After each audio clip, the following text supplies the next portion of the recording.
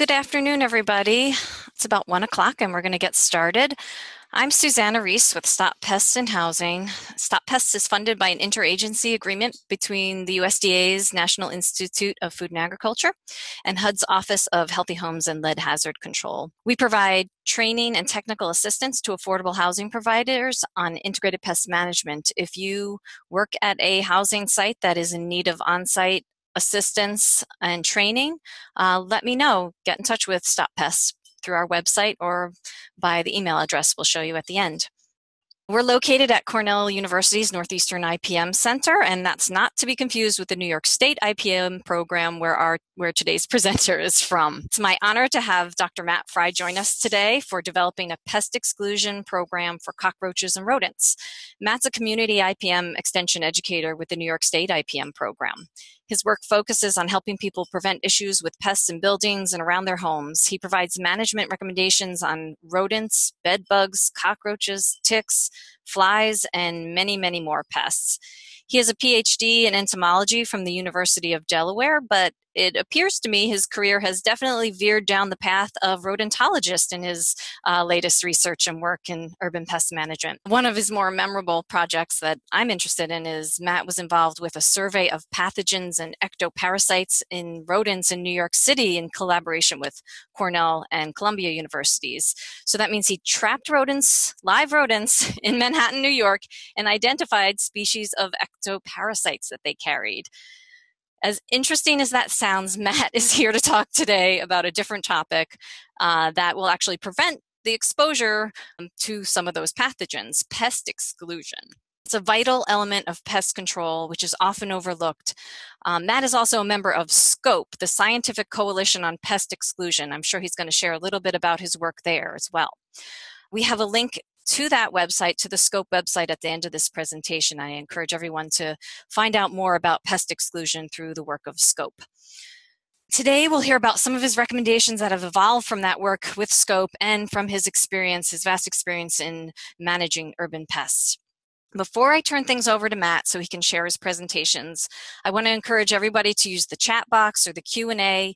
You should be able to find those in your in your controls panel um, and ask us questions. Your microphones are muted, so I will read those questions to Matt at the end of the presentation. But you can also email us with further questions after the webinar.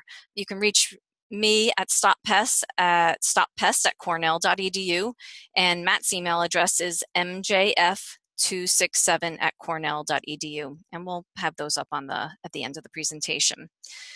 Also on the website that you see on the on your screen the stoppest.org slash go slash exclusion you'll find a pdf of the presentation some resources and a certificate of completion if you would like to uh, print that off and fill that out you can also find, you will also find the recording of this presentation on that same page, so you can rewatch it or feel free to share it with your colleagues. I have one last announcement. Uh, we have another webinar coming up on November 14th called Integrated Pest Management, a simple solution to problem pests in elderly and disabled public housing.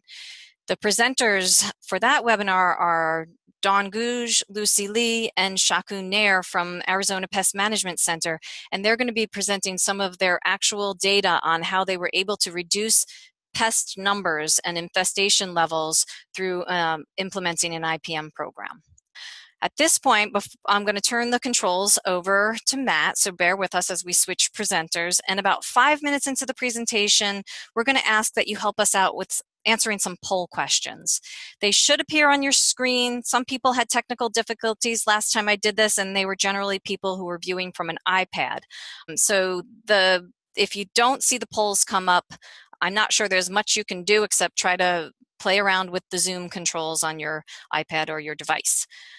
But if they you don't see the polls, we will talk through them and announce the results to you as as as they come up one more slide just for those that maybe are tuned in and are not getting any sound i um, they can't hear me right now but hopefully this slide helps them figure out where the controls for their sound is so at this point i'm going to stop sharing and matt Matt is going to pull up his presentation and you can bear with us for a moment as he switches over.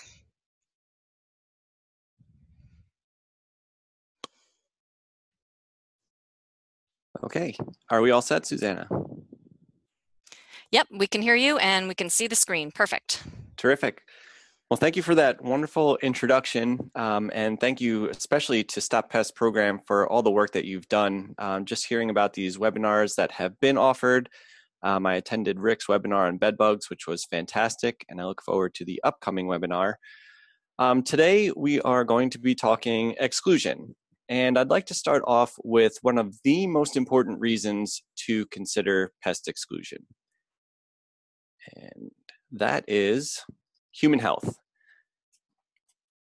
So our presentation today will definitely highlight exclusion of rodents. As Susanna said, even though I'm an entomologist, rodents have really become my passion and interest as it relates to pest management. And throughout history, rodents have brought pathogens of many varieties literally to our tables. Um, for instance, just last year, rodent borne disease took the life of one New Yorker uh, in the case of leptospirosis, um, highlighted here on the left. And that also made several others sick in a multifamily housing unit. Because of the role that rodents play in human health, uh, actually this month, Pest Control Technology magazine featured articles on public health um, in their annual rodent control issue. Um, this includes a terrific article by Dr. Bobby Corrigan on the public health importance of urban rodents and specifically the disease potential of New York City mice. Um, so, PCT Magazine is freely available. You can download the issue and read some really great articles about the uh, urban problems that we face with rats and mice um, contributing to human disease.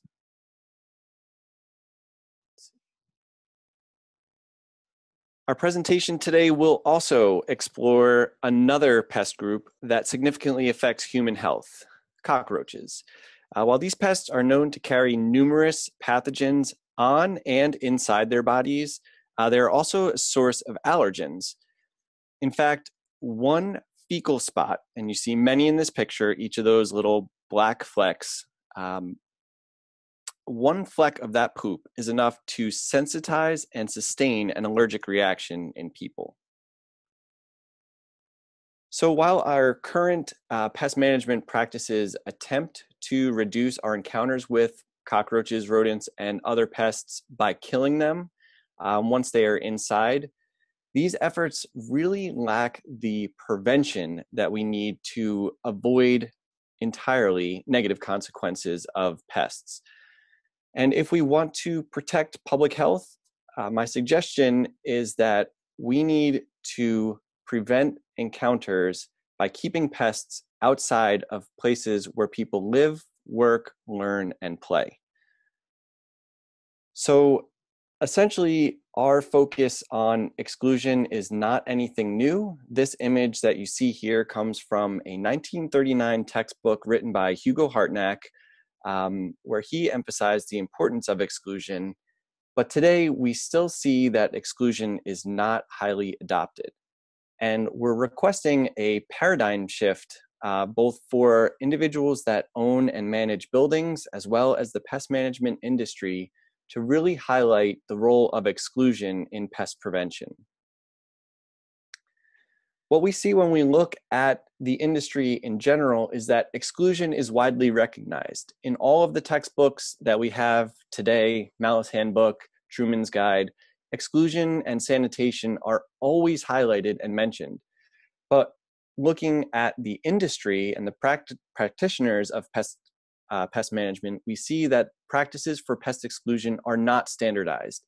Um, there are resources that are available, but they're often not promoted. Um, and so the goal of our presentation today is to really make uh, adoption of exclusion less daunting. We want to provide specific recommendations that even someone without any training can do to help limit uh, the entry of pests into buildings.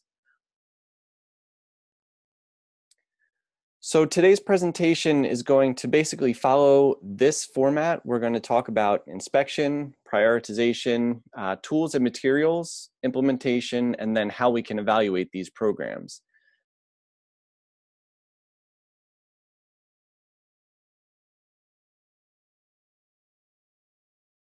As I said, I'm going to step through these different procedures that are part of a uh, pest exclusion program.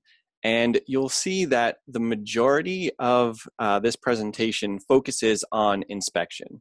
And the reason is that anytime we're dealing with a pest problem, our inspection informs us on where the pests are living, uh, what are the resources that they're using, and how we can best manage them. All this information is acquired during the inspection. So we're going to actually dive pretty deeply into inspection more than just the obvious uh, that you might learn in a standard pest management course. Of course, I have to show a tool slide. As someone that conducts inspections for commercial kitchens and other settings to identify pest problems, all of these tools and a few more are on my utility belt.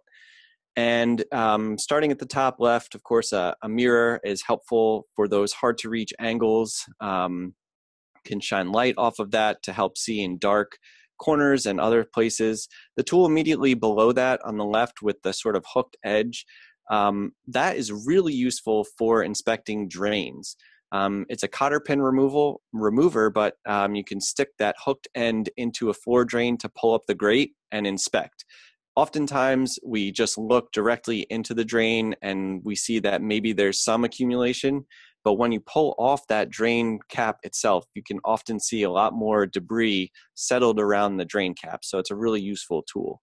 Um, spatulas for inspecting, but the, the one that I'll really highlight here is on the bottom right.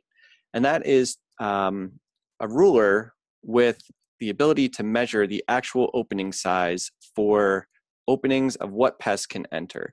And you'll see throughout this presentation that we're really interested in what size opening is present and what pests can enter. So for our inspection, I will say that there is valuable information in every single kill that is made by a pest professional or someone monitoring for pests.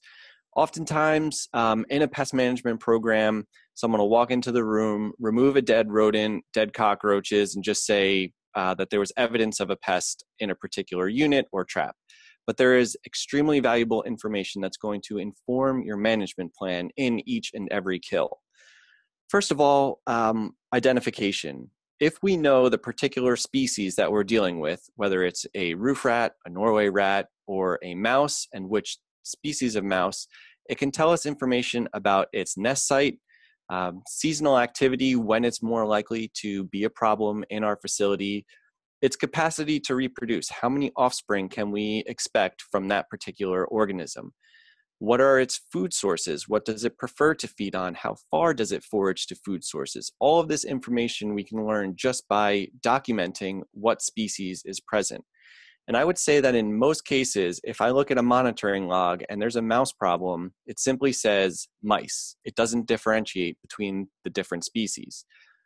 So I'll have you look at some pictures here. Um, hopefully this isn't too graphic for, for most audiences, um, but here's a, a glue board that has three critters on it. And obviously I can't ask you to respond, but think about which pest this is. Hopefully some of you can guess that this is actually Norway rats. Um, even though they look small in size, um, the thick tail that you see is evidence that it is nor- juvenile Norway rats, as well as those large hind feet in the one on the right. Um, this was taken from a public housing unit, and um, the one thing that I really do not like about this, um, you know, people have their perspe- perspectives on glue boards, but the use of a rodenticide bait on a glue board um, is not something I would recommend. The rodents in most cases are not going onto a glue board for a food source. Um, and certainly a rodenticide cannot be placed outside of a protected container. So um, just needed to point that out for this particular picture. All right, here's another critter. Hopefully you can take a guess at this one. These are house mice. Um, large ears, you can see here um, skinnier tail compared to the last one. And if you were to flip these guys over, you would see that there's a uniformity in the color between the fur on their back coat and their belly. So that's going to tell us that that is house mice. Accurate identification is the foundation of effective pest management. So here we have two different situations. Obviously, there are a ton of mice in both of them. Um, one is the house mouse, and one is what I would group as a field mouse, uh, either the deer mouse or the white footed mouse. And the way that we differentiate the two is, as I just said, uh, uniformity in color is the house mouse. So the one on the left is house mice. They can be gray or they can be brown, but the characteristic of uniformity in color is what differentiates them. On the right, um, about the middle of the picture, you could see that one of these mice has a very white belly, um, bottom left as well. And so these are going to be our field mice. Now, why does this matter? Our target pest influences our plan. Which of these mice is a permanent resident in buildings? The house mouse. Which mouse is seasonal? are white-footed or deer mouse, which I collectively call field mice, and which one is found in urban areas. Actually, both of them. Um, white-footed mice can be found in urban areas, including New York City. And we're going to talk more about what this means for our plan in just a moment. So we have our two mice. Uh, on the left is our white-footed mouse. On the right is our deer mouse. If we're dealing with uh, white-footed mice, what is our exclusion priority? Knowing that these animals spend most of their time outdoors and that they only come in or most often come in in the fall and winter time for shelter, we really want to focus our exclusion efforts on the exterior. We want to make sure that there's no avenue for these animals to enter our facilities or, or homes. In the case of house mice, we know that these critters, once they get into a building, tend to establish themselves near a food source.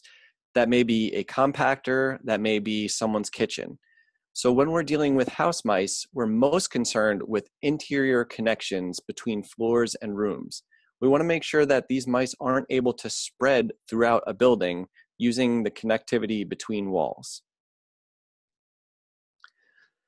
We'll talk a little bit about identification as well. So, knowing what sex we have and what sex we're catching can influence how much effort we put into our plans. If we're continuously catching male mice, then we're unlikely to be reducing the population. We need to know if we're catching females because replacement quickly occurs in both mice and rat populations. Uh, you'll see highlighted in this table from Dr. Corrigan's um, chapter in Mallis Handbook that females can reach sexual maturity in about two months, one to two months for house mice, and about three months for rats. In many cases, uh, pest management services are offered on a uh, monthly or quarterly basis. And if that's the case, you can have complete replacement of a population within that duration. So we really need to make sure that we are capturing the females to reduce the population. Sure, this isn't what you were thinking about on a Wednesday afternoon, but we are going to talk about rodent sex, and I'm going to ask you to learn how to identify them and differentiate them. Uh, the different the distance between the anus and the genitals is what's used to identify mice. Now, I am not asking you to grab them by the tail and look at these parts. Uh, you'll see in the next picture that it's very easy to identify them when, even when they're on a snap trap. Picture on the left is a male, here referenced as a buck, and has a greater distance between the genitals and the anus, whereas a doe, that distance is much shorter. So here are two pictures from the field, um, taken right from a snap trap, and you can see one has a very short distance and one has a longer distance, in the picture of the right, um, that greenish brown is actually uh, poop that you can see coming out of the anus, and that is tinted with green because that animal fed on um, a rodenticide bait. So, short distance, female, longer distance, male. There you go. Now you have a life skill of being able to identify the sex of rodents. Now, as someone that wants to record this important information when dealing with a rodent problem, uh, we developed this rodent monitoring log that allows you to record all of this information. What type of rodent did you find? What species? How many were present? Was it a juvenile? Was it an adult? Was it a male? Was it a female? Um, and then some other things about the number of droppings, which may be an indicator of the population present. Uh, this form is available along with several of the others that we'll talk about today on the Scientific Coalition of Pest Exclusion website, uh, which Susanna indicated is on the announcement for this webinar. Okay, so the other main pest that we're dealing uh, using today as an example to develop a pest exclusion program are cockroaches. There are several cockroach species that can be present in buildings um, we'll start at the top left, and hopefully you recognize some of these critters, but that is the German cockroach, um, identified by those two uh, longitudinal bands on its uh, prothorax. Moving to the right, this one is a little bit less common, but is still present in and around buildings. Um, the oriental cockroach. In many cases, this one is most often found outdoors and on the exterior of buildings, but it can make its way inside. Bottom left are brown banded cockroaches. Um, these have brown bands uh, horizontally on the body.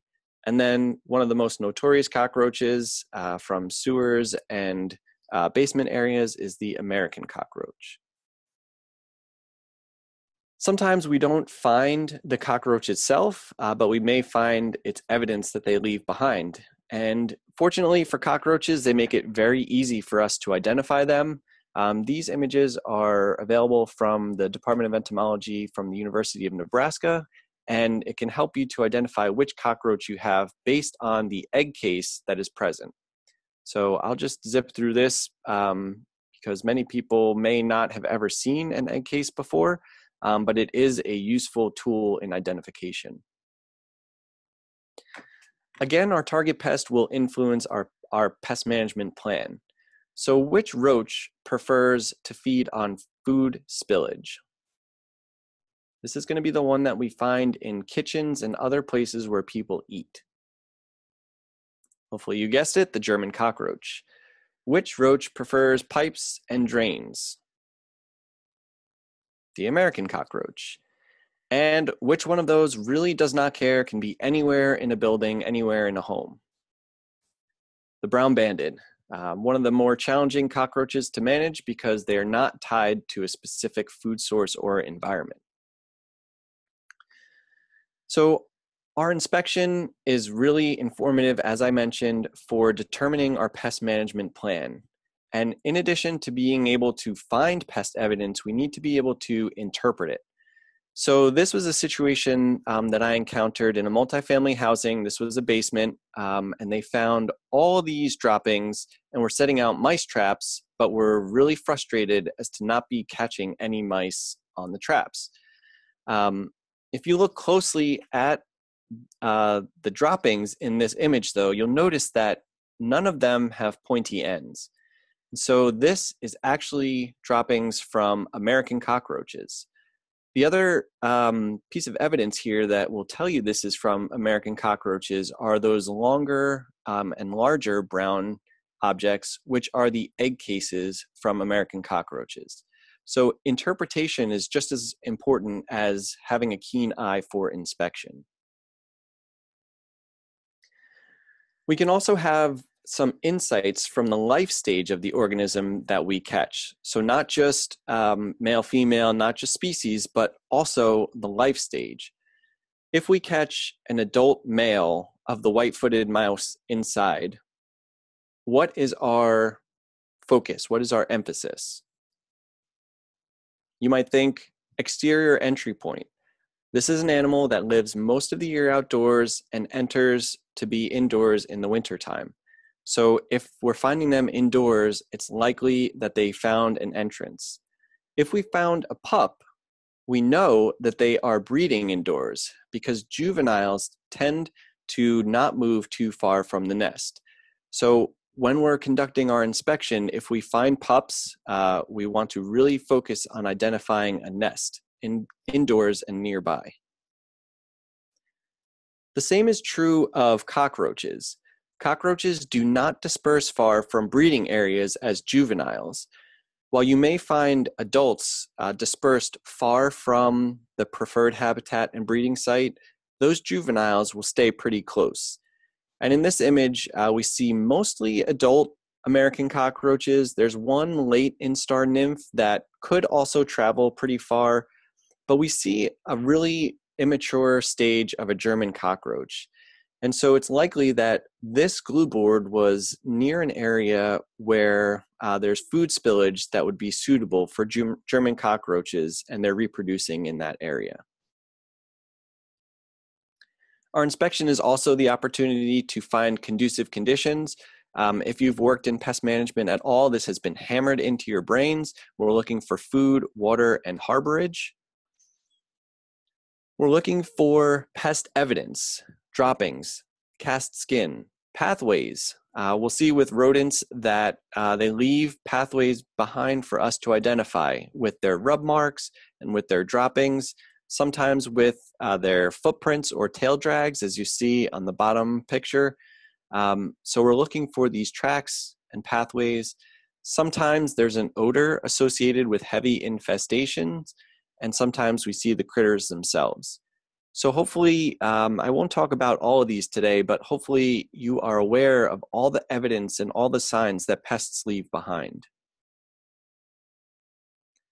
I do like to point out that it's really critical to not only conduct an inspection as a moment in time, but to also have monitoring equipment in place to have that record of time, to understand what's happened in the time that you were not present at night or on weekends when pests may be more active. Monitors can provide us with a ton of information about the pest population. Uh, this image alone on the right tells me that we're near a German cockroach breeding site because there are juveniles, that someone is aware of this population because they've been treated with an insect growth regulator that's affected the wings. So already I know that something is going on here, and it helps me to better narrow down my efforts in managing a cockroach population. So I'll just point out that monitors don't have to be something fancy or expensive. Um, this case is dealing with mice and using snap traps as monitors. All devices can be considered monitors as long as we interpret the information accurately. So in this case, um, there was some rodent droppings that were found on top of this shelf in a basement. Uh, homeowner installed numerous types of traps um, in an attempt to catch what pest was present. Um, and I, I just want to point out some of the you know key features of this attempt right here. So you'll see first um, in the foreground there's a standard um, mouse snap trap that is not an expanded trigger, just a standard trigger that could be baited with a particular type of food. Um, on the sill plate behind it, you'll see a yellow and black uh, paddled traps, and they're about an inch to two inches apart. Um, this is a really great technique if you aren't using this in your rodent management plan to implement. Um, if a mouse is running along this sill plate and sees a trap, it might jump to avert the trap, but then subsequently land in a second trap. So, this is um, a good technique to use uh, for mouse management there's a trap in the corner, and then there's a trap all the way to the right, which is actually on a ledge by that windowsill. So when this uh, homeowner, and I will tell you that it was me in someone else's home, uh, found mice, they were first by the window, and then additional traps were installed uh, throughout this space in a systemic pattern, systematic pattern to try and identify where the problem was. And then catches were found um, further to the left. So this really, what this did is it helped me to focus my search into one specific area where pests might be coming from. This is a large basement. If I was to search this whole basement, it could take me hours and hours. And as a pest professional, there may not be enough time for me to do this thorough inspection. But if I come back and there's traps uh, with hits that are all surrounding this one point, it helps me focus that inspection. So pulling the insulation away, um, you know, this is an area that is adjacent on the exterior to a poured cement staircase. And it turns out that between the staircase and the foundation, uh, there's this one little gap that mice were coming through. So that trapping effort really helped me to monitor in my absence to find out where the pests were coming from. It was a record of events over a period of time and um, exploits the cryptic behavior of most pests. They're not present when I'm there inspecting, but they are out uh, when people are not home. So monitoring and record keeping can help with your management plan. Your inspection is an opportunity to identify structural issues, and this is a big one for today, our exclusion program. Um, deficiencies can offer pest harborage.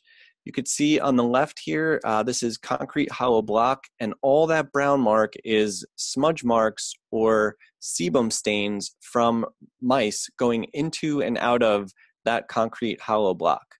Um, so that that small deficiency provided enough harborage for a huge colony of mice.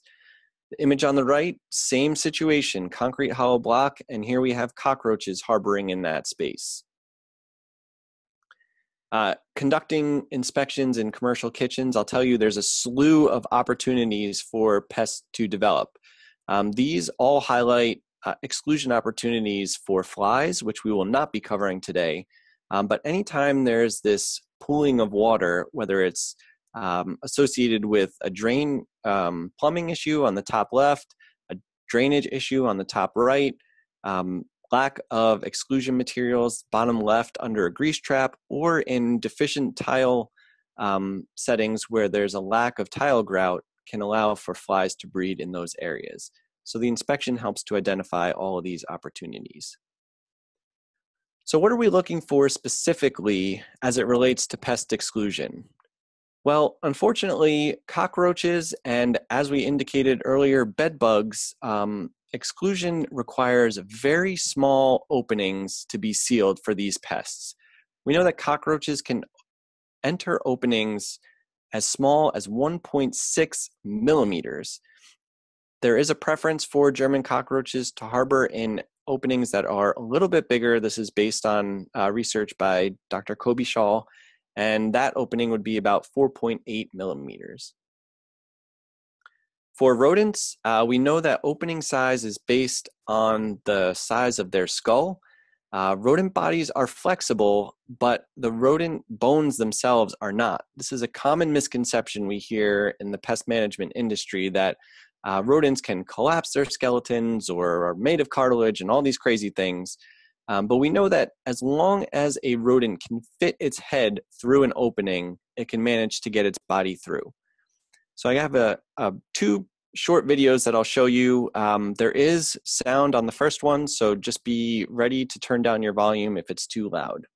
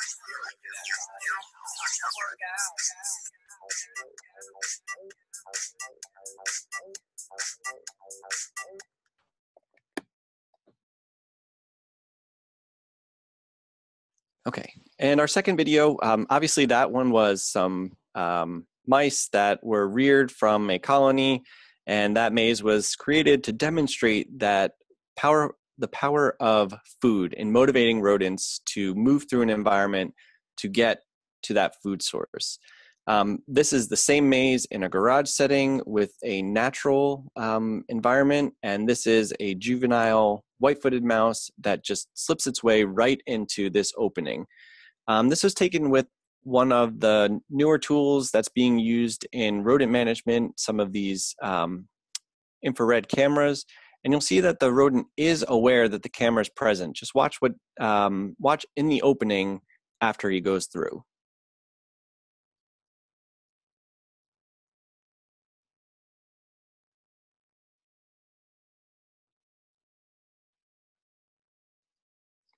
So he kind of turns around and gives the camera the stink eye because he's aware that something made a noise when it turned on, um, and he's just a little bit alarmed by what might what threat may be behind him. So for rats, um, obviously the openings are a little bit larger. Um, gaps, meaning the the opening that is under a door, um, has to be at least a half an inch to allow rats to get under. And if we're talking about a round opening, um, that would be about three quarters of an inch round. In Pest Prevention by Design, which is an authoritative guideline for designing pests out of structures um, created by the San Francisco Department of the Environment, this has a listing of all the known um, pest entry sizes that are um, recorded from the literature um, for various different species. Now, I will point out that um, just because an insect has been measured to be a certain size, with their thorax being a certain size, for example, it's possible that they can compress themselves smaller because insects, unlike rodents, do have that um, compressibility. So sometimes smaller mesh sizes may be needed um, in those instances.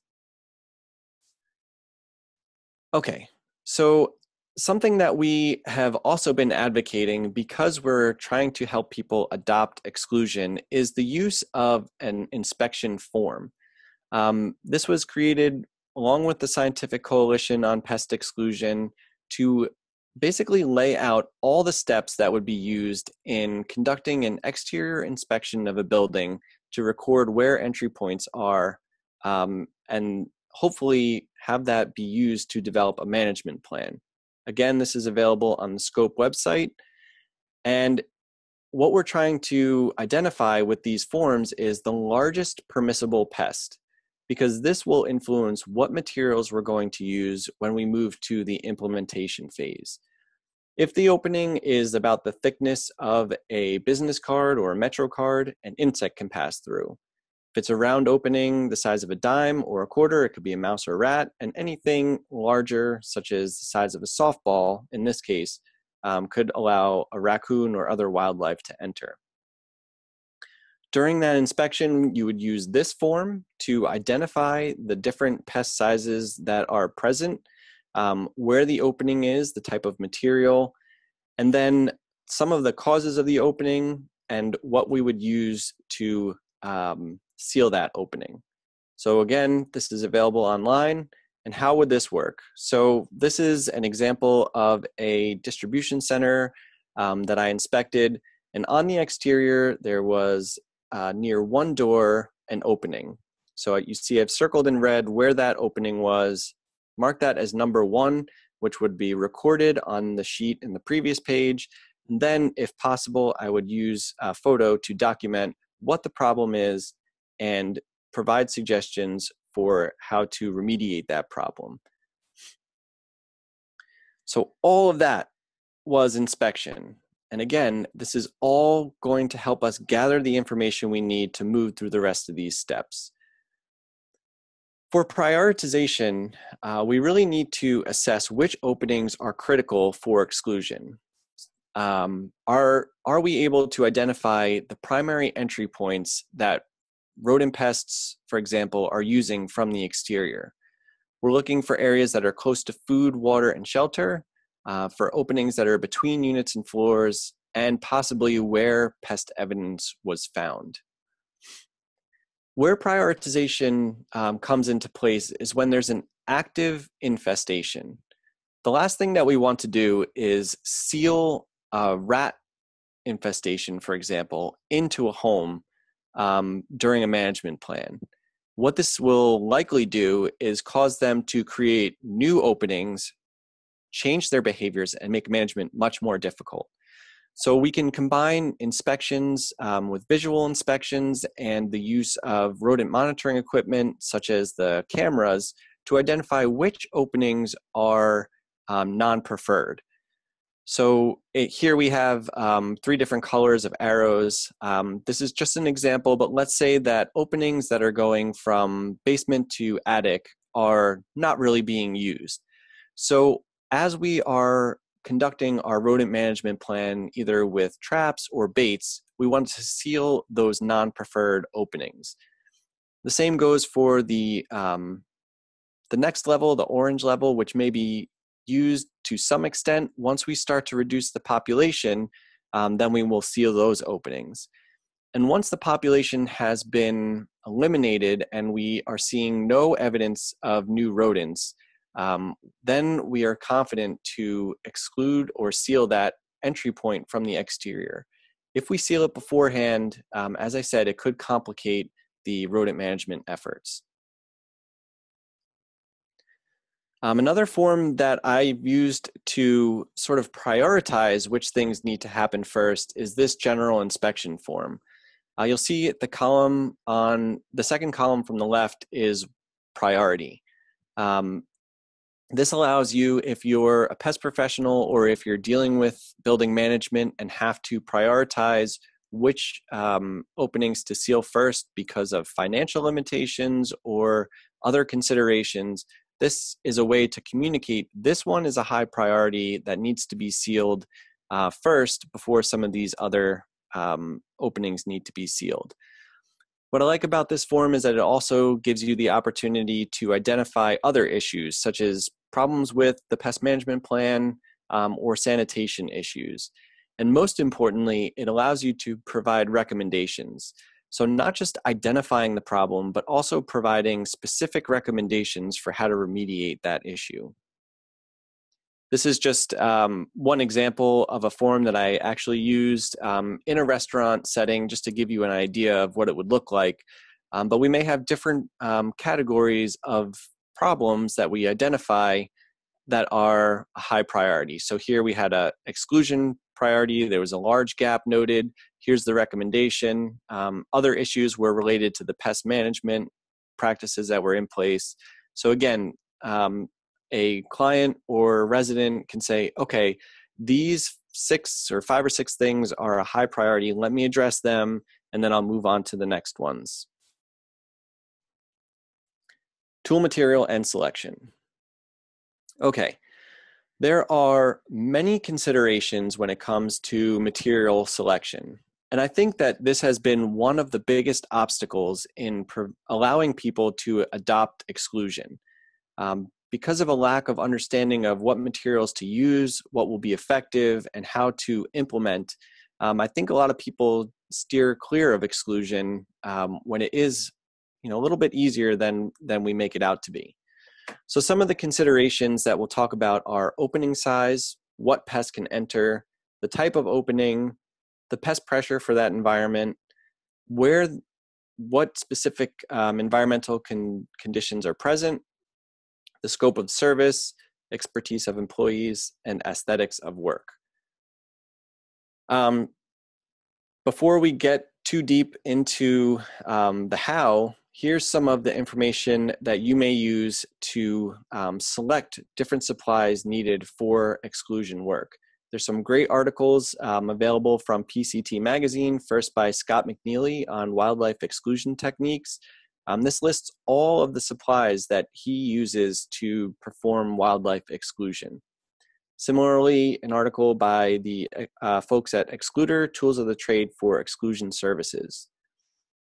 Um, based on the poll, it seems that there is an interest in um, online materials. And so this course uh, from the National Wildlife Control Operators might be a great module for you to learn um, the different techniques and tools that are, are needed for pest exclusion. Okay, so environment and pest pressure.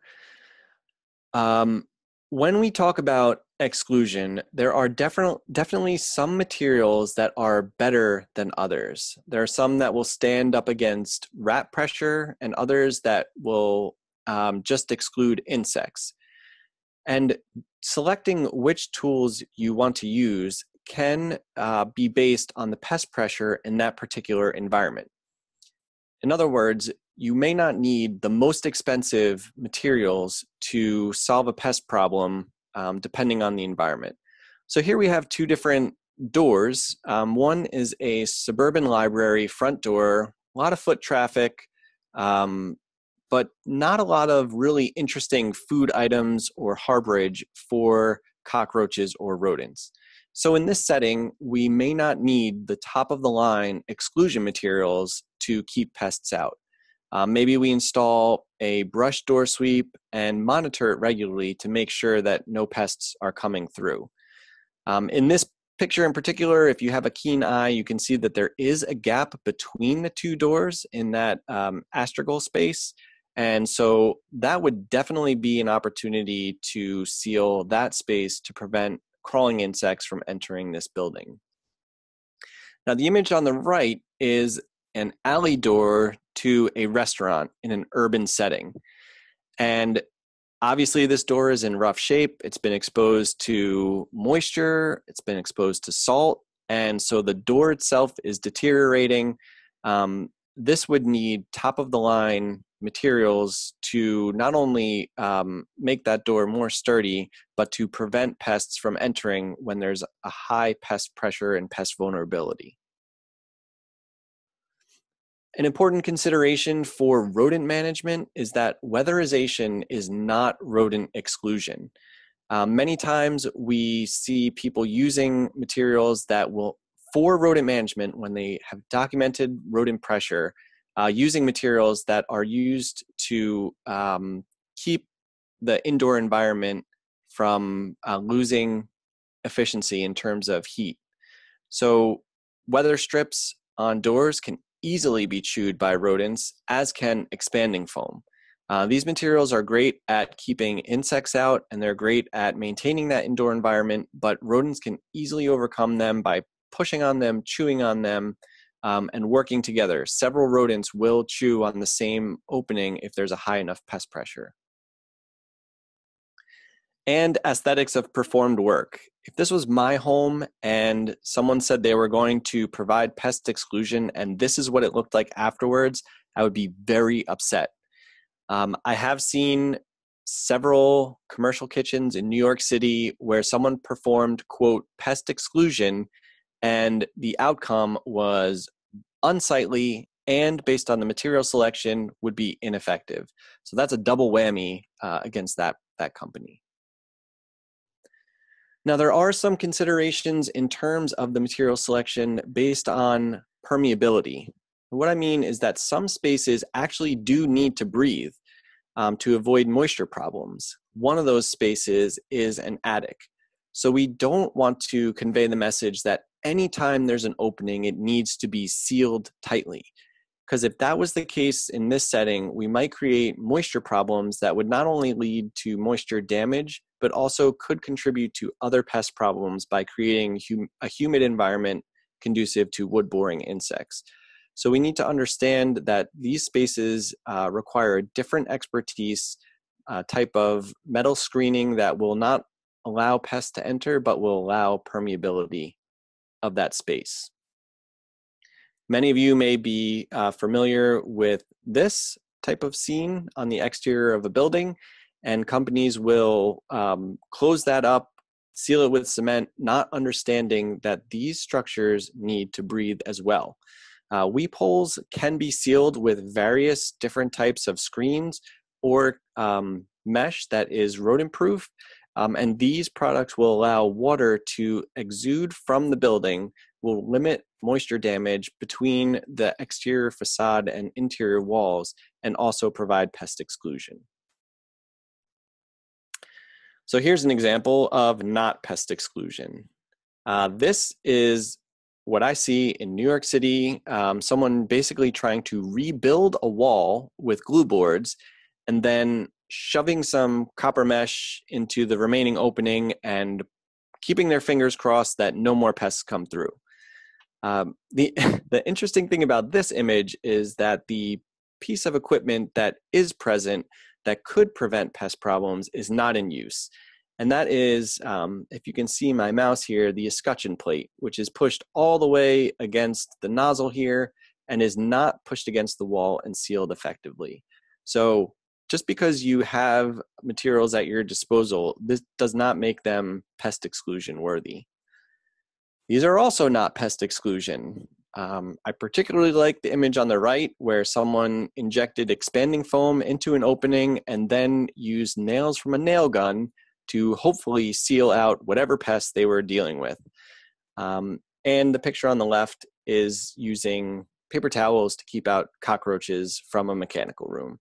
Um, there are wonderful solutions that we have to keep pests out. Neither of these uh, work. Okay, implementation. The first thing to mention is that sanitation must occur at or during the time we are implementing our exclusion program. This is because we need to treat the problem, the reason that the pests are there, and not just the symptom. So we don't want to just in, um, implement exclusion and expect that that's going to immediately eliminate all our problems we also need to eliminate the conducive conditions for why the pests are there. So, in this setting, of course, the food spillage is the real problem, and the cockroach that's present is a symptom of that problem. We want to um, record and remove pest evidence as we are implementing our pest exclusion program. This is extremely valuable to verify whether or not our treatment has been effective if there are rodent droppings everywhere and we perform exclusion and we come back and there are rodent droppings everywhere, how do we know if we've actually excluded them other than testimonials from customers? We need to document through removal of feces and other rodent evidence that we have been effective. Also, this looks great to customers or clients or residents that we have removed um, rodent droppings from their home or environment. There is a link at the bottom of this um, page to um, follow the instructions from the CDC for cleaning up after rodents. Um, there are a number of health risks that can be associated with rodent droppings, urine, um, as we discussed earlier with leptospirosis in New York City. Um, so we want to take all the precautions that we can to remove those um, risks as we're cleaning up. So, what I'd like to do now is just talk about three different levels of exclusion as we see it um, for implementation. And these different levels are based on the size of the opening, and as a result, it is based on the level of difficulty in implementing exclusion from my perspective, anybody um, that owns a home, lives in a home, or manages a building has the skills to do this beginner level exclusion. Here we're talking about openings that are less than one inch, and um, there are a number of tools that can be used to seal those openings. We'll talk about metal mesh fibers, elastomeric sealants, and escutcheon plates. The other thing about this uh, beginner level is that it requires very few tools. And so, if you are a pest management company and you are hiring technicians or you have um, management staff, there's not a lot of concern about replacing equipment uh, when it comes to these small openings. So, we're dealing with gloves, scissors, some kind of probe to push materials into openings, and possibly a brush or vacuum to remove shavings from metal mesh fibers. Uh, we also might use a caulk gun and rags to clean up after the caulk. So, metal mesh fibers. Um, as you may know, there are two main types of metal mesh fibers that avail- are available um, for pest management. One is uh, copper based, and the other is stainless steel based. And the stainless steel is the sort of top of the line here because these um, fibers are abrasive for chewing rodents and they do not rust. Um, the copper mesh product is a little is not as abrasive and um, so it doesn't have that same deterrence as this product. However, uh, as I mentioned earlier, if you're in a situation where the pest pressure is not great, you're looking for a quick temporary fix, and to determine if there is pest pressure, you could easily use um, the copper mesh product as a beginning to see if um, you have been successful at excluding that pest. Sealants is another product that can be used for small openings, and there are recommendations for selecting and using caulks and sealants in pest management. Uh, this was written by Dr. Bobby Corrigan. This is actually available online um, from the Stop Pests program, but if you um, Google sealants and Corrigan, this article will come up. Uh, this is a very technical document that um, provides information about the different types of products and um, as you can see, the table on the right, it's a bit more scientific. Dr. Corrigan adapted this for a PCT magazine article, which actually includes product suggestions. So you can Google pest proofing small holes and find this article and uh, find specific recommendations for products that are easily available to use in sealing uh, openings one inch or less. Now, another tool that many people may not be familiar, familiar with but is easy enough to use are escutcheon plates. Um, these are available in a huge diversity of sizes and shapes and functions from most big box stores, Home Depot, Lowe's, um, or your general hardware stores. And these are used to um, seal the gap where um, some kind of fixture comes through a wall, whether it's electrical, plumbing, gas, um, we want to make sure that we select the correct size for the pipe that comes through. And really importantly, that these are sealed to the wall. Um, there's nothing about this product in general that makes it magical. It's just that it creates a nice tight seal around a pipe, but it has to be affixed to the wall, otherwise, pests can easily push right through it. So, pretty basic stuff. Um, again, I think anybody with any um, handy skills can implement beginner level pest exclusion. Our next level refers um, to openings that are one to four inch in size um, and maybe a little bit more advanced because of the tools that are the tools and supplies that are required. So here we're dealing with hardware cloth and door sweeps and astragal seals are supplies that are a little bit different. Um, most importantly, is some kind of drill, whether it's an impact drill to um, fasten to different types of materials. Uh, we'll need fasteners and some skills that involve a level or measuring tape to make sure that we're putting um, these devices on correctly. Hardware cloth. So here we have two different sizes of mesh, um, half inch by half inch squares or quarter inch by quarter inch. The smaller size will exclude mice and the half inch will exclude rats. The gold standard for um, hardware cloth is woven galvanized hardware cloth. Um, in my experience going to um, my local big box stores, I have seen uh, welded hardware cloth and not woven. Woven has that extra strength because fibers are actually interlaced with each other, whereas welded is just they're um, attached to each other in two different planes. So if you're dealing with a severe um, infestation of rats, for example, you may want to search out for that woven galvanized hardware cloth. In this case, um, the fasteners and substrate matter. So we don't want to just be using staple guns because rats will push and pull and chew and can actually remove staples from some substrates. Uh, we want to use hex head screws with washers to really fasten that material to the, the surface. And we want to make sure that if we're dealing with rats that we don't allow any edges. If there's even a single um, lift from the uh, material, a rat can grab that with its teeth and pull on it, and over time can actually create an opening from that. So we want to make sure there's no edges or corners. Now, a consideration with um, metal mesh and fibers is that, again, buildings and certain structures need to be able to breathe. Um, when we're talking about ventilator grills, unfortunately, um, we have to use half inch mesh. We cannot go smaller to um, prevent smaller organisms from entering these ventilator grills.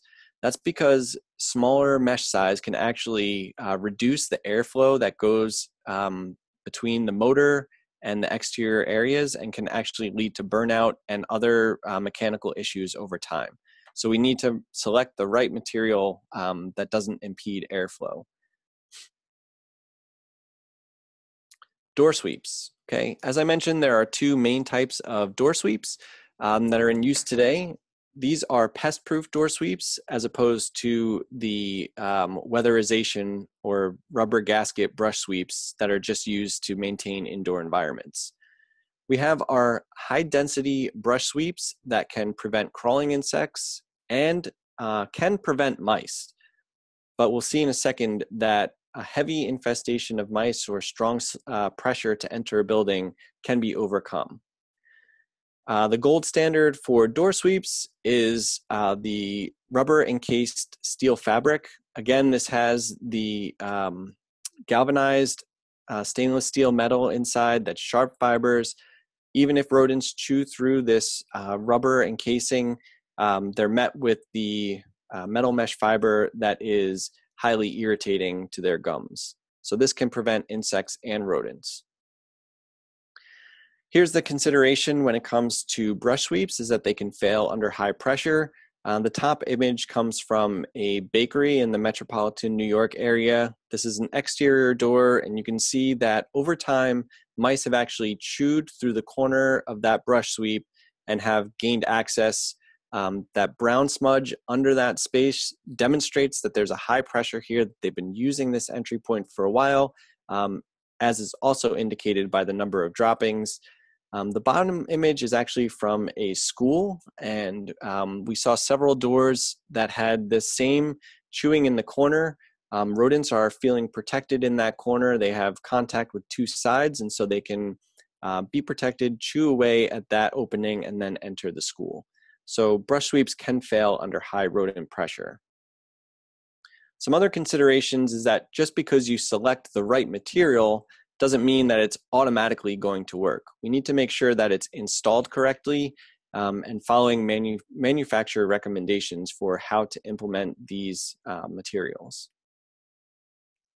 There's a number of um, applications of these materials that are available. So depending on what type of door you have, um, if it's a single door, double door, uh, garage compression door, loading dock door, uh, there are different materials that are available. And then moving on to our last level of exclusion, advanced exclusion. Um, this is for openings that are four inches or larger, um, dealing with soffits, roofs, chimneys, and oftentimes, this is left to a crew that is designated as an exclusion crew with some construction expertise. Um, maybe it's some masonry expertise, knowing what tools are used and supplies for that trade, sheet metal, or carpentry. And I'll, I'll just go back to a second here and say for soffits and roofs, um, the reason that I consider this advanced level exclusion is because the, the need for use of ladders and training for ladder safety. So there are a number of issues that can occur with um, concrete hollow block. For example, if it's not installed correctly, there could be gaps between the block. Um, hopefully, many of you have not experienced this, but over time in uh, damp conditions, some of that mortar between blocks can deteriorate and allow for pest entry. Um, there are solutions for on top of concrete hollow blocks. I don't know what the use has been like for pest management professionals, but these um, pest proof materials are available to seal the tops of concrete hollow block. Galvanized sheet metal can be used um, to patch holes on the exterior. Um, fastening it to brick, as in the case on the right. Um, when when selecting these materials, we we need to know what gauge of material to use. All of these specifications are found in Pest Prevention by Design. Again, um, that is available on the SCOPE website, but also by Googling pest prevention by design. As I mentioned, there are considerations for using sheet metal, knowing how to bend metal, and selecting the right thickness. So, all of this um, is advanced because even for me, this is beyond my expertise. I'm not out there bending sheet metal to perform exclusion. So, um, this may require a little bit more understanding of the trade to implement it correctly. Now, some of the special um, situations that may occur is foundation barriers and burrowing rodents. Um, this is particularly important in areas where there's Norway rats. They will um, burrow under the exterior of a building and find their way into dirt, dirt floor crawl spaces as pictured in these images and there are solutions to excluding them from those zones. Um, one that is not an exclusion technique in that it's 100% effective, but more of a deterrence, is the use of vegetation free zones. Uh, these use uh, one inch diameter stone of some kind of crushed stone on the perimeter, about two feet wide out from the building and six inches deep. Now, um, implementing this is not challenging at all. It just requires the time and some manual labor to implement this type of uh, vegetation free zone. So I think this is um, something that's easily completed, whether it's around a building or we'll talk about tree pits in a moment for urban areas. Um, and stone can also be used in those areas. Um, a more effective but requiring more technique or more expertise is the use of curtain walls. Uh, these can be cement or metal, and this image demonstrates the dimensions that would be required for a curtain wall to prevent rats from getting into a building. Um, this is basically a three foot deep um, piece of metal that goes into the soil and then a foot out from the foundation. And again, um, if rodents were really determined, they could dig below this, but in most cases, um, they're not going to be going more than a foot and a half down. And so this um, technique can be used to prevent rodents on the exterior of buildings as well. Something that could be used temporarily um, that would have to be replaced in time, but um, the use of hardware cloth, galvanized because we don't want it to rust, um, we can make a curtain wall out of hardware cloth on the exterior of buildings as well. Um, this has been used particularly in um, rural areas when we're dealing with uh, chicken coop or other type of um, facility that has food inside. Um, and this is based on uh, one of the resources that you'll find on the SCOPE website. Uh, for tree pits, as I mentioned, uh, crushed stone has been shown to deter rats from burrowing in those.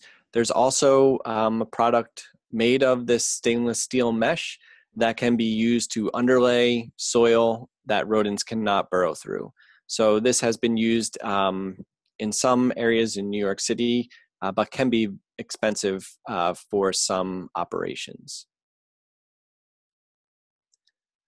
Now, one of the considerations that is often overlooked for uh, commercial areas or um, basements or utility rooms is the type of floor drain cap that is being used. Um, obviously, if you look at these two different caps, you could see that one has much smaller openings. The one on the left would prevent uh, American cockroach adults from entering from the drain, um, whereas the one on the right would easily allow roaches to enter.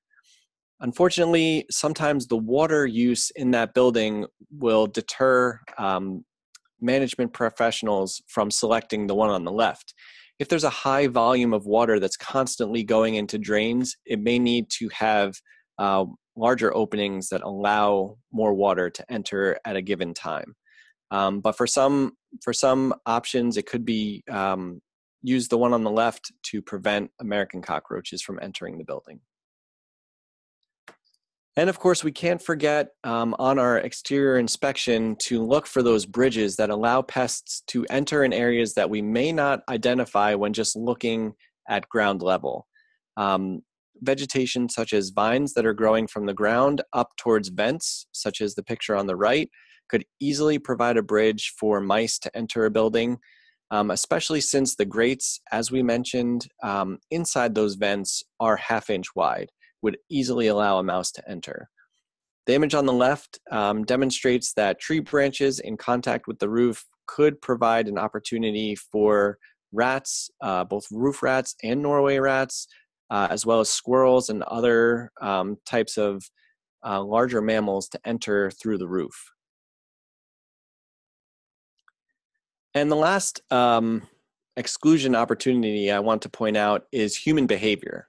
Human behavior will always trump any exclusion effort that you make. Um, whether it's a torn screen that we just haven't got around to fixing, or if there's a door that just won't close, um, pests will exploit those opportunities. And unless we put forth the effort to make sure that those openings are not readily accessible, um, we may be dealing with a pest problem based on human behavior. So we'll move on to quickly evaluate our program. Um, this is more of a step if you are the one that is funding exclusion or performing the exclusion yourself. You want to know that the effort that you undertook or you paid for was effective. So you want to record what you did and where. Um, if you have seen fewer pests, if you've seen no pests, and what do you need to do in the future. Now, this um, relates more for uh, any pest professionals. And early on, I saw that there was only one in the audience. Um, but one of the arguments that we often hear is that we don't do pest exclusion because it's not lucrative for us. Um, many of the arguments are that once I perform pest exclusion, then I'll lose business. I won't have anything else to do. And that's really not the case because pest exclusion is not a one time service, it is a routine service. There needs to be some annual inspection to identify if there's any new entry points based on building movement or deterioration of materials. Um, and so we recommend at least two times per year doing an assessment one in the spring to look at winter damage and one in the fall to verify that there's no entry points for pests. Um, this can be performed in house if you are a multifamily housing or um, even a homeowner, just to make sure that your own structure is is safe. It's an opportunity to uh, identify new entry points, to repair and replace any materials that may have succumbed to damage, and um, an opportunity to put monitors in places indoors to verify that these programs are effective. Now, I know this is a, a, busy list here, but in my opinion, these are the 13 steps to really and thoroughly implementing a pest exclusion program. Uh, communication, identifying several steps to identify the openings, um, recording what the problems are, implementing that pest exclusion program, and evaluating it. So um, I did mention that on uh, the Stop Pests website that Susanna provided, there is a link to the Scope website. Um, I did want to offer another way to get there, which is directly through um, the New York State IPM programs website. So here's some really basic instructions, but start with nysipm.cornell.edu, um, select the community tab and go down to homes and other buildings. And then there's a link on the left that says Scientific Coalition on Pest Exclusion. And once you're there, uh, we have some brief description of, of what the Scientific Coalition is all about. Um, we have a list of our core members and our working group members, and then on the right is really where all the information that you need on pest exclusion can be found. We have a number of general resources, uh, material, material selections, tool selection, uh, conducive conditions, and our inspection forms that I mentioned earlier. And with that, um, that's the end of my talk for today. As Susanna indicated, um, you can contact me. My email address is here. Uh, you can also follow me on Twitter or find the New York State IPM program on our various social media platforms such as Facebook, Twitter, YouTube, and Flickr. Thank you all for your time. Thank you, Matt. I learned so much. I have a couple questions actually I'm going to get to, um, but I want to remind folks that uh, at this time to um, type in your questions in the chat box and the Q&A and I will get to them. Um, I'm going to put up our our links again. Um, sorry. Uh, that's the Stop Pests email and Matt Frye's email and the New York State IPM website again. Uh, let us know if you have questions after the webinar, need more training materials. Uh, the, the, scope website um, is connected now to the to the Stop Pest website, and uh, just let us know if you need training on site. Stop Pest comes on site, does site evaluation for affordable housing providers, and uh, staff and resident training, uh, but we can also just be available to ask, answer questions too. Um, well, I'll start with, as I wait for folks to type in their questions, um, a couple things that I'm, I'm curious about. Um, well, one is when you talked about the difference between uh, house mouse and the field mice or the deer mice, um, even though in the fall the field mice and the deer mice are trying to come into your home and they are more seasonal, they can establish um, they can establish a population inside a home. Is that correct? Yes, that is correct. Um, so, I mean, it is a textbook case that they are coming in in the fall, staying through the winter, and then leaving in the spring. But they can absolutely spend their entire life cycle nesting in your home. Um, and so, yeah, they're it. It's kind of a indicator that there's a exclusion opportunity on the exterior, but right, they can okay. they can survive all year round inside a home. Gotcha. Okay, and then the other question I had was um, uh, uh, something you mentioned that that stuck with me was um, when I had done a building evaluation with Bobby Corrigan. He was explaining for this particular building there was a mouse problem with the mice were um, reproducing and there was a good population that was already in the in the building um, and in people's residences. And he advised that they do the ceiling first work their way outside to inside. But you said with rats it can be different. So um, is that correct? So if it's a mouse issue you can start by doing the exterior exclusion first to keep any new mice out and then work on your interior population. But with rats, you want to make sure you are taking care of the interior population because they will try to get outside? That is a great question. Um, yeah, so my, my experience has been with rats, and what I've experienced is that if you seal rats inside, they go crazy and they can create new openings and change their patterns. Um, so, right, you want to make sure that you've reduced the population before you do that exterior exclusion.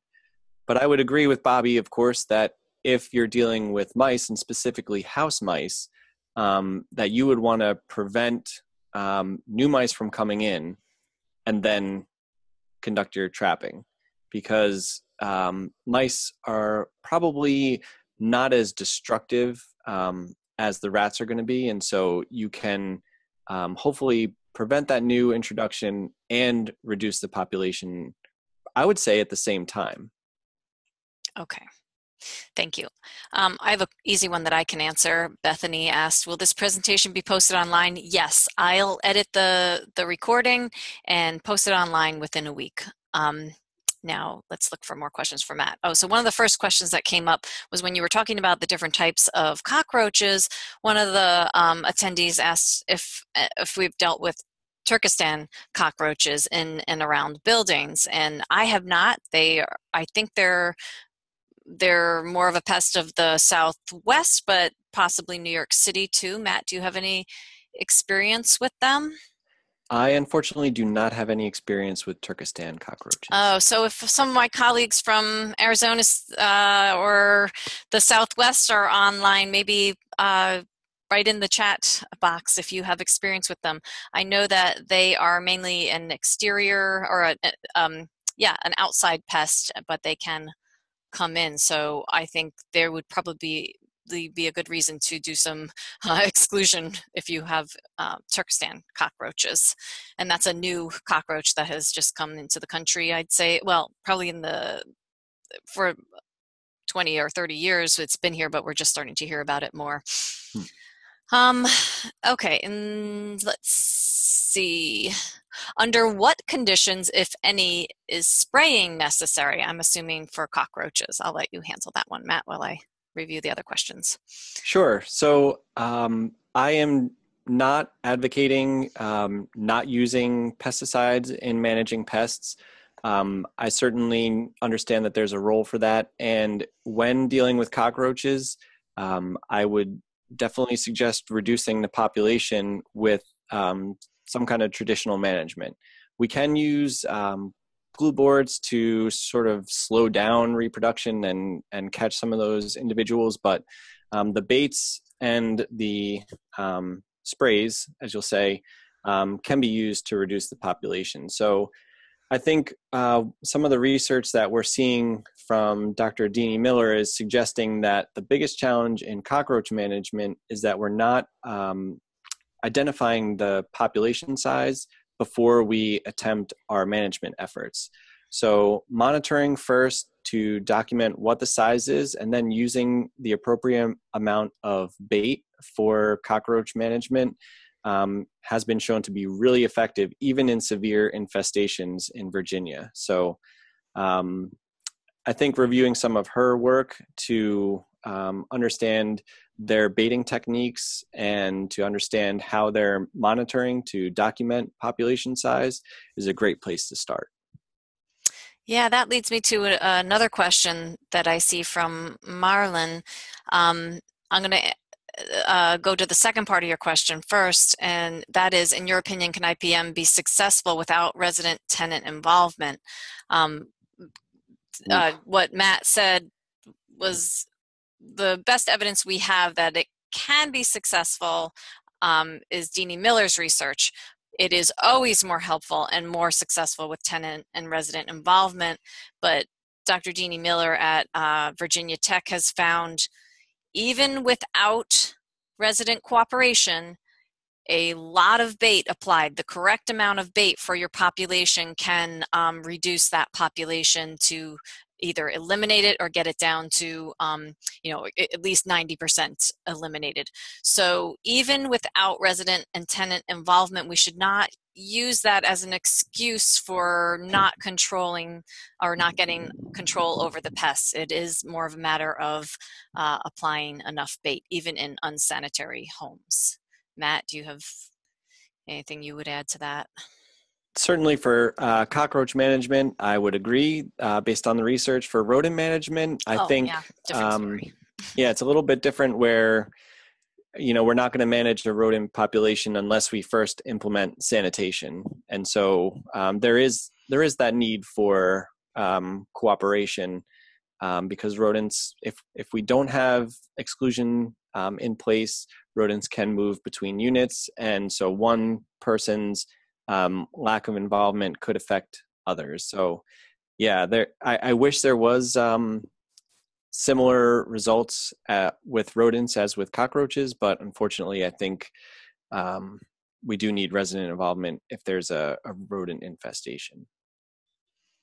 And the Stop Pest website has some resources. We have a page on working with residents if um, you need uh, more assistance or some some ideas on how to um, work with residents. Um, we have a page on our website.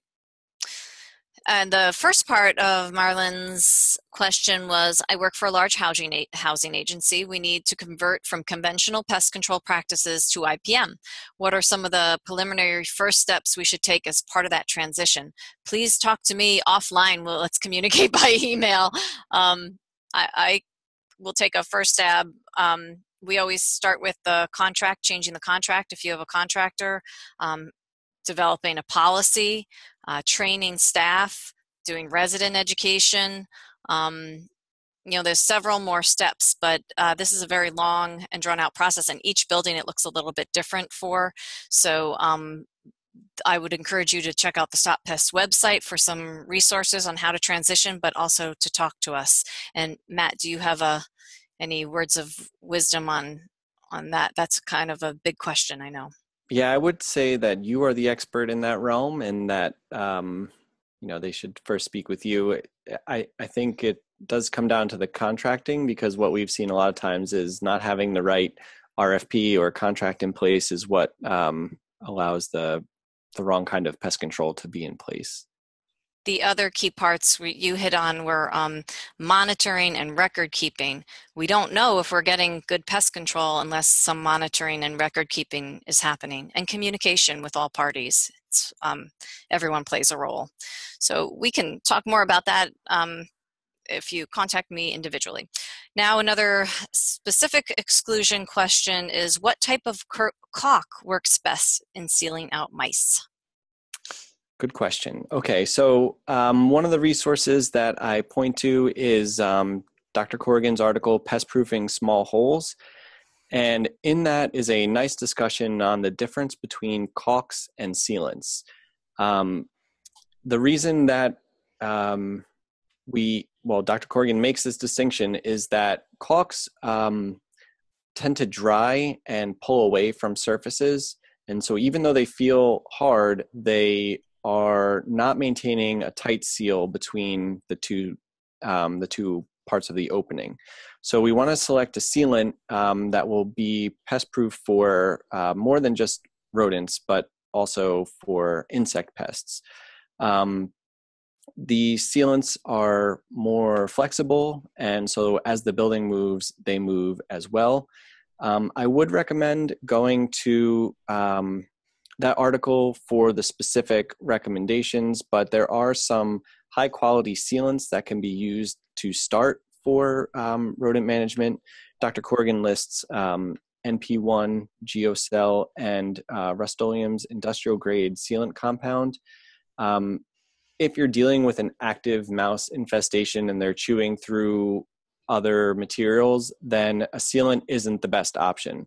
Um, in that case, you either want to plug the hole with um, one of the metal mesh fibers or do a repair job to actually seal the hole with a more permanent material that will prevent um, chewing pests. Oh, and that just um, triggered a thought on my part. I will put the links to the company Xcluder on the homepage for this webinar. Um, but Matt, if you can think of another company that sells um, exclusion materials specifically, uh, let me know and we'll put some links up on the, um, the uh, homepage for this webinar. Sure. Um, oh, hi, Lori. Uh, Lori is asking, what's your experience working with construction sites near housing causing Norway rat problems? Oh boy. Yeah. um, I, I actually don't have um, any direct experience with that. Um, so I, you know, I understand that with construction sites, there's obviously a lot of disturbance, and that can lead to um, rodent pressure on surrounding buildings. It would seem in those cases that the really important um, thing to do is to identify those obvious exterior entry points and uh, use the sort of maybe the gold standard for um, keeping pests out there. So relying on those Xcluder products, um, if you ha- if you're dealing with doors and other openings, um, you know, I think having a exterior um, management program might be helpful in that situation, but um, it's more useful to monitor on the exterior of the building to to understand the pest pressure um, before doing any kind of um, heavy treatment right off the bat. So you can, you know, what what I've seen used in the past is um, bait stations with Detex, which is a type of monitoring block, and then snap traps inside um, those devices. So that'll give you an indication of how much bait is being removed and how much pressure is there and what target pest you're dealing with if it is definitely Norway rats seems like construction sites cause like um, you know exacerbate any if there is a rat problem having that construction site nearby definitely is going to exacerbate and and you're going to get higher pressure. Um, laura you probably have already you're probably already doing this but working with the city uh, public works or whoever uh, the department in in the city where you're in um, does the uh, rodent control and having them aware that there needs to be heavier baiting in that area um, because it's tough when it's not on the properties that you're managing.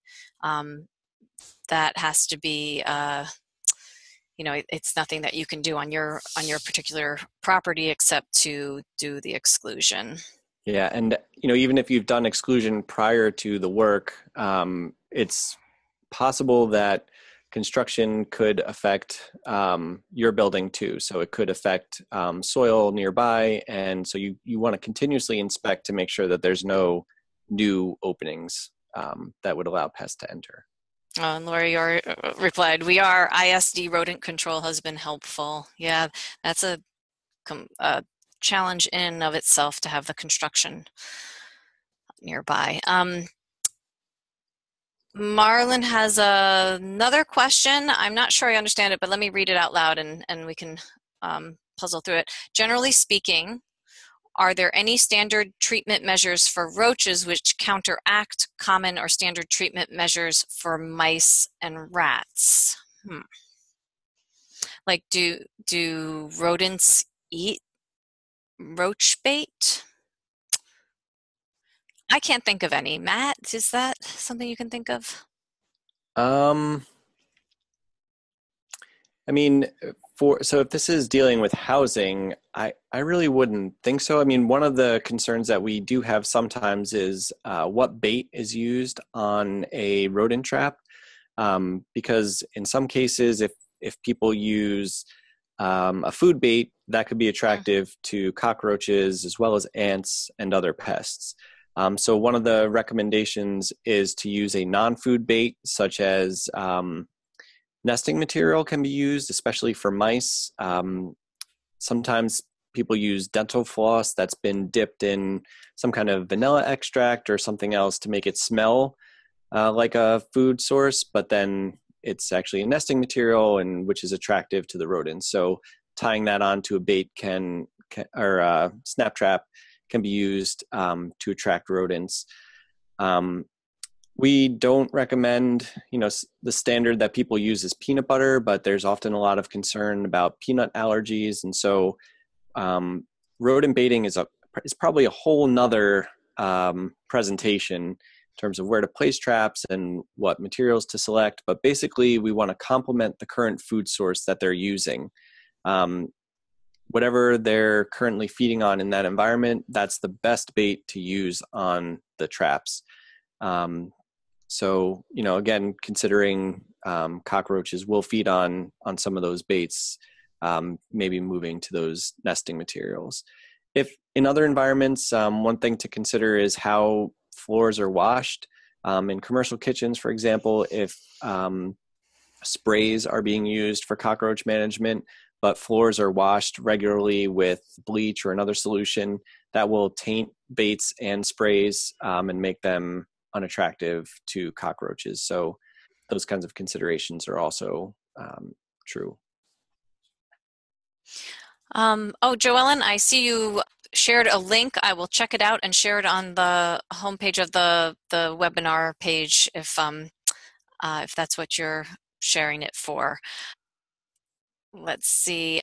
Another myth I hear is that roaches and mice won't exist in the same apartment. That is not true. One thing I just wanted to mention really quickly about we didn't talk about bed bugs, but there has been incidences where I've seen exclusion efforts really make a difference in bed bug uh, control. But I wouldn't say there's like a standard practice for exclusion for bed bugs, but it's more about inspection and figuring out the patterns of dispersal. In one building I worked in, I was doing a resident program, and all the residents kept telling me they were finding bed bugs in their bathtubs, and that is a very unusual place to find bed bugs. And with that clue, the staff realized that they were going from mainly from one apartment they spread where they weren't able to control it uh, because of a hoarding situation. But from that apartment, they would go through the, um, there was a space along the bathroom vents that they were traveling through and they were dropping into bathtubs. Now, the maintenance staff sealed those all up and they were really able to isolate the the infestations to that one apartment. They did several other things, but that was a really key piece in understanding how they were spreading. Another building I worked in, same story. They had about a 20% infestation rate in, in a high rise, and they found they were going along the heating pipes, which is a nice warm place for them to be attracted to. They took their maintenance guys offline for, you know, as long as it took. They sealed around with the proper sealing material. Um, they sealed around the heating and then again they were without changing their protocols very much. They added, they did a few extra things, but um, they didn't change a tremendous amount in their in their control protocols, and they were able to isolate the infestations to just a couple of apartments by figuring out where they were spreading, how they were spreading, and how they were going from apartment to apartment. So it might not be necessary in every case, but uh, bed bug management, like all these pests, takes that inspection and, and a little bit of detective work, I think, to know. I did want to add to that, and I, I should probably include a few slides on this, but one of our colleagues at Harvard, um, Richard Pollack, has done a lot of work with fire stopping, and um, he's been actually able to leverage funds for you know, fire stopping, uh, which is also effective as pest exclusion. And so they use different types of materials to plug all holes that go between rooms that could potentially allow fire to jump from room to room on campus in Harvard. And um, what they've noticed is that you know that will those materials also prevent mice from moving. They could prevent bed bugs, and it basically makes every single unit a compartment, compartmentalized unit. So that's one thing to investigate. There there may be funds available for fire stopping that could, as a added bonus, um, prevent pests from moving as well. Yeah, and um, third case of bed uh, with bed bugs that just occurred to me, and I think it happens quite frequently. I've seen it in other people's work.